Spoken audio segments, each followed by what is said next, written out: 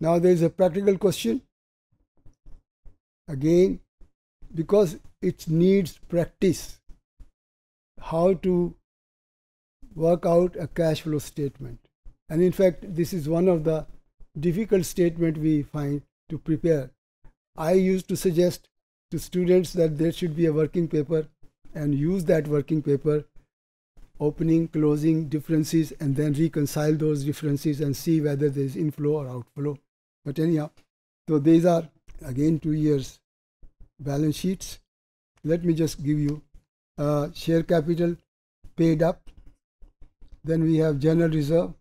Then we have retained earning, and this is part of equity.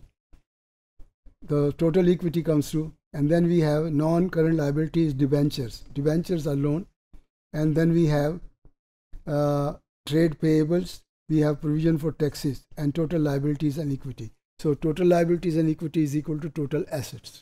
Now, net current liability, uh, non-current liabilities are there, property, plant and uh, current assets are there and uh, property, plant, accumulated depreciation and we have uh, intangible assets. So this is another assets which is uh, non-current. Intangible intangible which don't have the physical physical substance. Like goodwill is a good name of a business. The patent copyrights is a simple rights.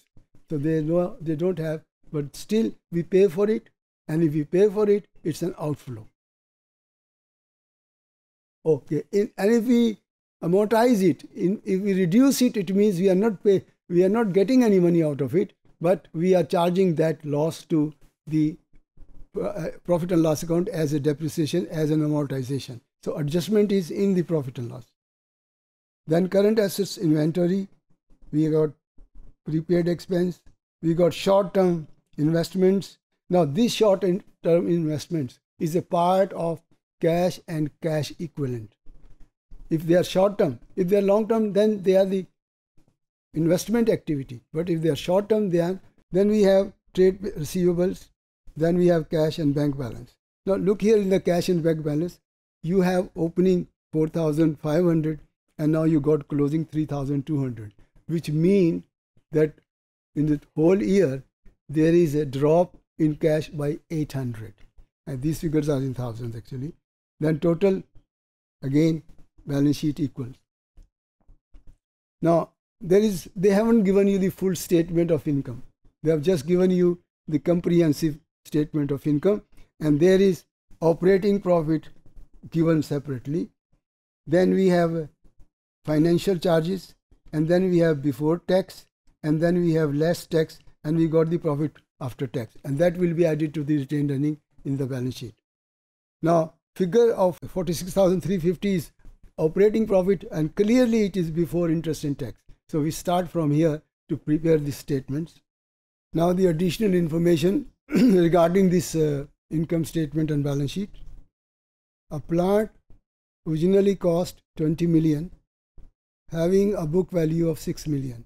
And that 6 million is after taking out a 14 million depreciation on this particular plant which you have sold for 9.8 million. Straight away, 9.8 million is your cash inflow. And so for profit of 3.8 million is concerned, it is taken to profit and loss account so we need to remove it from the profit and loss account because we are taking the whole amount as a inflow in the investing activity. Depreciation expenses and amortization again we have given the operating profit. It means they have already taken care of this depreciation and amortization. So we have to add back those two figures. No change in the value of short-term investment. So it is a part of cash and cash equivalent. So it will be adjusted towards the end of the cash flow statement. Now, dividend of 8 million were declared and paid by the company during the year. It's clearly given that we have paid, so it is an outflow. And that outflow will be reported as a financing activity because it is paid to the shareholders.